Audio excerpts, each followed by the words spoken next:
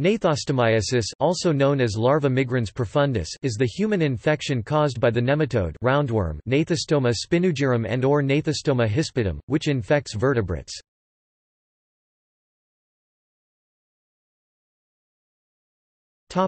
Symptoms A few days after ingestion epigastric pain, fever, vomiting, and loss of appetite resulting from migration of larvae through intestinal wall to the abdominal cavity will appear in the patient.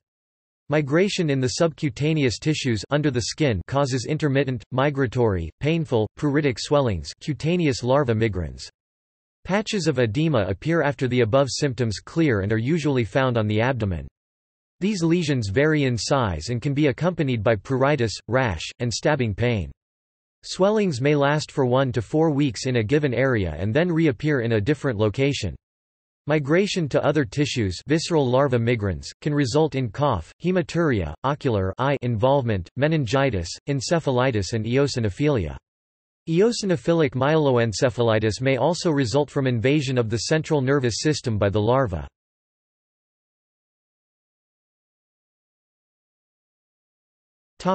Causes Human gnathostomiasis is infection by the migrating third-stage larva of any of five species of Gnathostoma, which is type of worm more specifically a type of nematode. The most common cause in Asia is G. spinigerum, and the most common cause in the Americas is G. binucleatum. Three other species, G. hispidum, G. doloresi, and G. nipponicum are found only in Japan. There is one unconfirmed report of G. malaysiae causing disease in humans.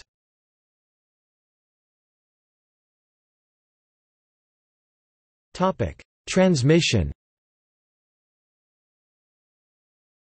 Gnathostomiasis is transmitted by the ingestion of raw, insufficiently cooked definitive hosts such as fresh water fish, poultry, or frogs. In Thailand and Vietnam, the most common cause appears to be consumption of undercooked Asian swamp eels Monopterus albus, also called Fluta alba which transmit G. spinigerum.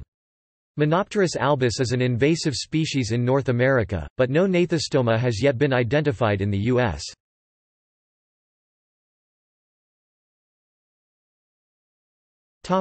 Host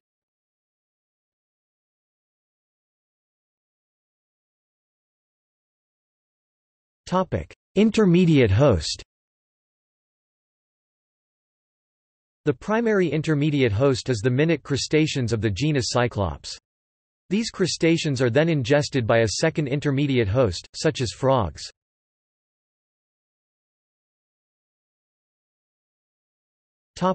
Definitive host The definitive hosts for gnathostomiasis include cats, dogs, tigers, leopards, lions, mink, opossums, raccoons, poultry, frogs, freshwater fish, snakes or birds.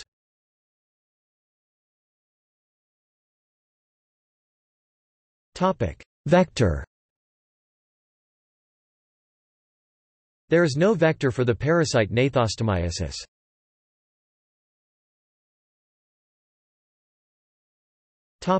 Incubation period. The incubation period for gnathostomiasis is 3 to 4 weeks when the larvae begin to migrate through the subcutaneous tissue of the body.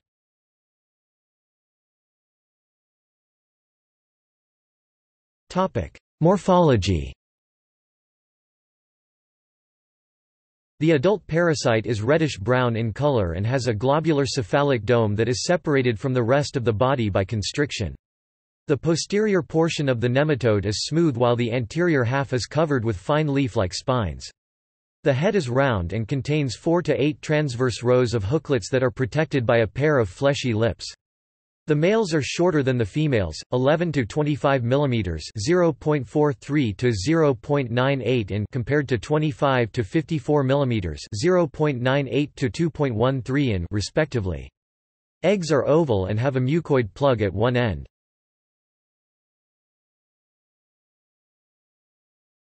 Topic: Life cycle.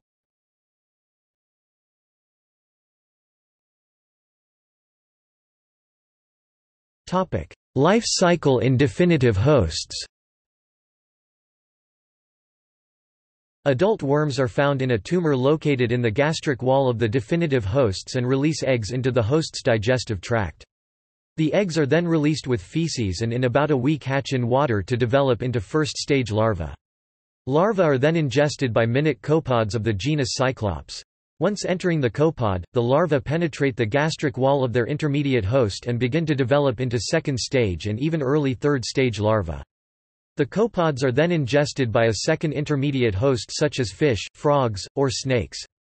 Within this second intermediate or definitive host the larvae repeat a similar pattern of penetrating the gastric wall, but then continue to migrate to muscular tissue and develop into advanced third stage larvae. These larvae then encyst within the musculature of the new host. If the cyst containing flesh of these hosts is ingested by a definitive host, such as dogs, and cats, the cysts are ingested and the larvae escape the cysts and penetrate the gastric wall. These released larvae travel to the connective tissue and muscle as observed before and after four weeks they return to the gastric wall as adults. Here they form a tumor and continue to mature into adults for the next six to eight months. Worms mate and females begin to excrete fertilized eggs with feces 8 to 12 months after ingestion of cysts. They are passed out in the feces and eaten by another fish.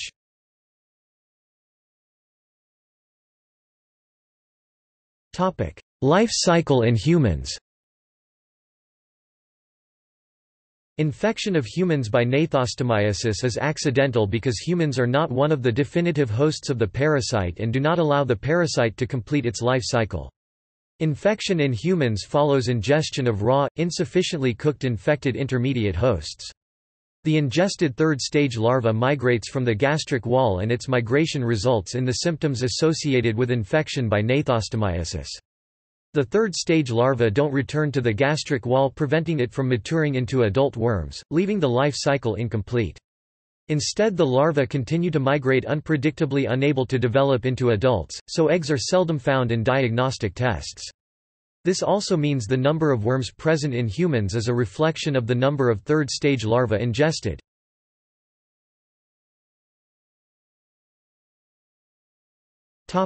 Diagnosis Diagnosis of gnathostomiasis is possible with microscopy after removal of the worm. The primary form of diagnosis of gnathostomiasis is the identification of larvae in the tissue. Serological testing such as enzyme-linked immunosorbent assay or the Western blot are also reliable but may not be easily accessible in endemic areas. CT scanning or MRI can be used to help identify a soft tissue worm and when looking at CNS disease it can be used to reveal the presence of the worm. The presence of hemorrhagic tracts on gradient echo T2 weighted MRI is characteristic and possibly diagnostic. Urinalysis can also be used to identify the presence of hematuria or the worm, but it is not a very reliable diagnostic tool.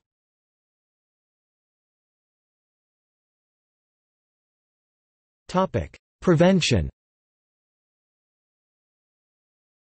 The best strategies for preventing accidental infection of humans is to educate those living in endemic areas to only consume fully cooked meat. The inability of the parasite to complete its life cycle within humans means that transmission can easily be contained by adequate preparation of meat from intermediate hosts. This is especially useful because of the difficulty and lack of feasibility inherent in eliminating all intermediate hosts of gnathostomiasis. So instead, individuals in endemic areas should avoid eating raw and undercooked meat in endemic areas, but this may be difficult in these areas. This is due to preference for dishes containing raw fish in these endemic areas. The dish ceviche is native to Peru and a favorite of Mexico. It consists of onion, cubed fish, lime or lemon juice and Andean spices including salt and chili. The ingredients are mixed together and they are allowed to marinate several hours before being served at room temperature. Then in endemic areas in Southeast Asia there are traditional dishes associated with these areas that also include raw uncooked fish, such as koi pla in Thailand, goi ca song in Vietnam, sashimi and sushi in Japan. Acknowledging these cultural traditions, individuals in these cultural can be educated on methods of adapting their food preparation activities in order to remove the larva without greatly altering these traditional dishes. For instance, meat should be marinated in vinegar for 6 hours or in soy sauce for 12 hours in order to successfully kill the larva. In areas with reliable electricity, meat can be frozen at minus 20 degrees Celsius for 3 to 5 days to achieve the same results of killing the larva present.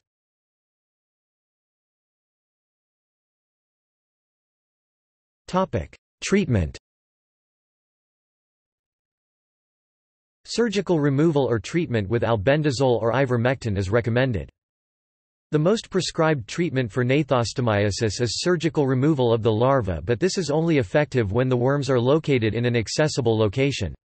In addition to surgical excision, albendazole and ivermectin have been noted in their ability to eliminate the parasite. Albendazole is recommended to be administered at 400 mg daily for 21 days as an adjunct to surgical excision, while ivermectin is better tolerated as a single dose.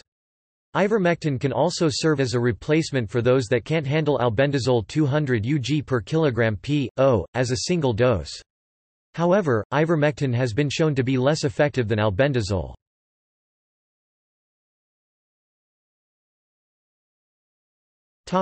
Epidemiology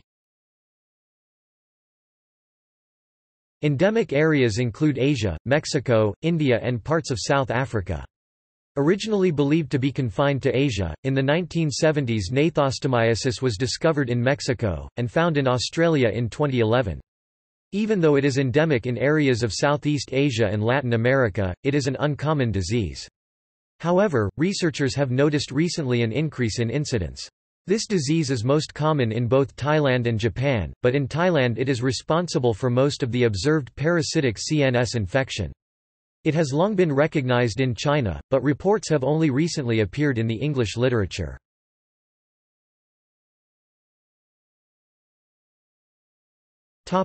History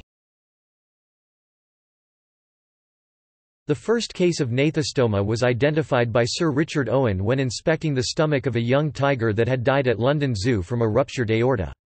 However it was not until 1889 that the first human case was described by Levinsen when he found the gnathostoma larva in an infested Thai woman. This delay in identification of the parasite in humans is due to the fact that humans are not a definitive host for this parasite making infection from this parasite rare.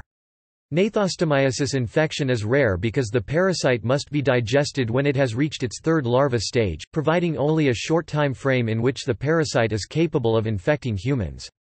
It is uncommon for the larva to penetrate the skin of individuals exposed to contaminated food or water without ingestion.